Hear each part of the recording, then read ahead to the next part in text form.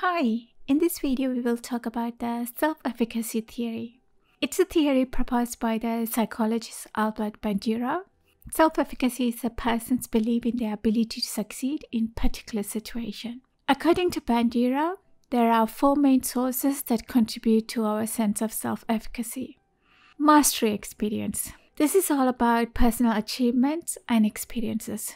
When you succeed at something, you believe in your ability to handle similar tasks in future gets stronger. So let's say you pass the introduction to psychology exam. That will give you the belief that you will pass other exams like it in the future. Vicarious experience.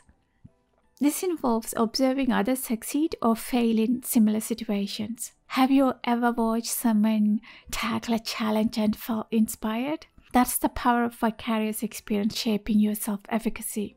So I was watching this movie about Diana Nyad a few months back and watching her succeed at swimming at the age of 64 and she did like 110 miles made me feel like I could succeed at a marathon too. That's basically vicarious experience.